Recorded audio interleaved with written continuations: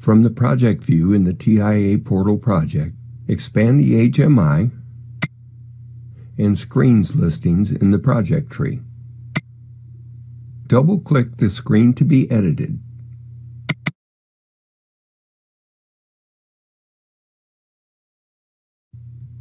Either select the element to be animated or, as in the example, drag and drop the desired element onto the screen.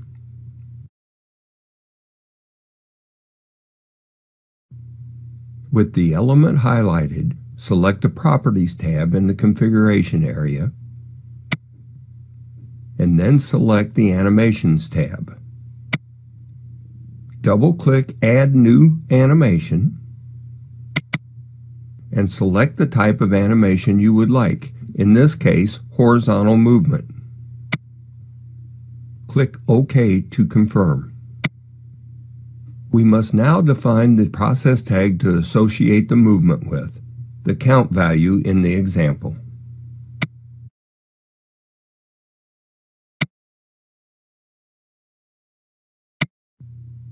With the tag defined, we must enter the correct value range for the tag.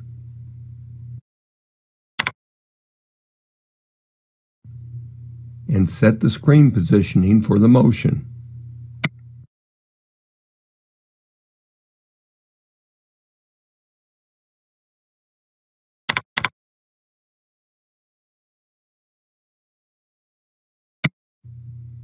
With the movement configured, we will add an appearance animation as well.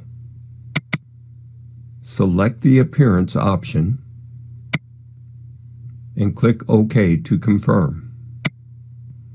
We will link the appearance animation to the count value as well.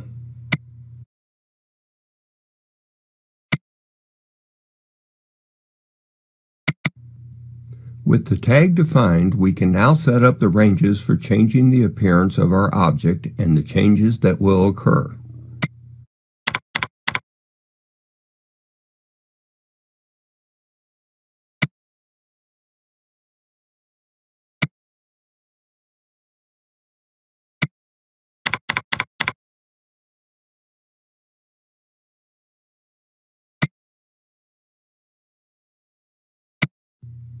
Note that the range background has turned red indicating a problem with the range entered. In this case, an extra 1 was entered in the value, causing the value to be out of the defined range. This must be corrected for the animation to compile and perform correctly.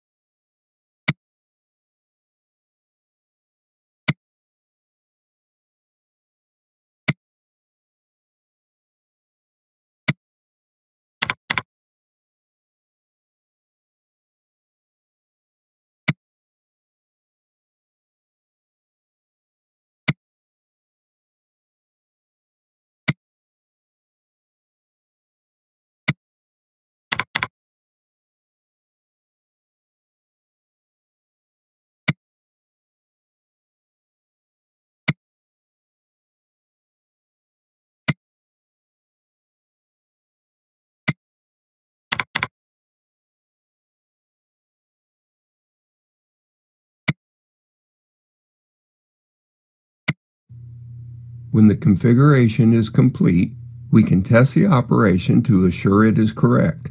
Select the highest level HMI element in the project tree, and then click the simulation icon from the main menu bar. The Simatic WinCC Runtime Advanced window opens. Switch to the proper screen. The new object is present on the screen. Let's test the animation by resetting the count. The animated object moved to the right with the increase in the count value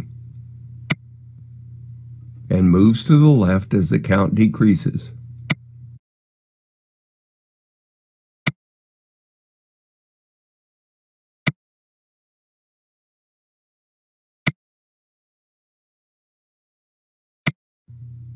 At the configured set points, the object changes color.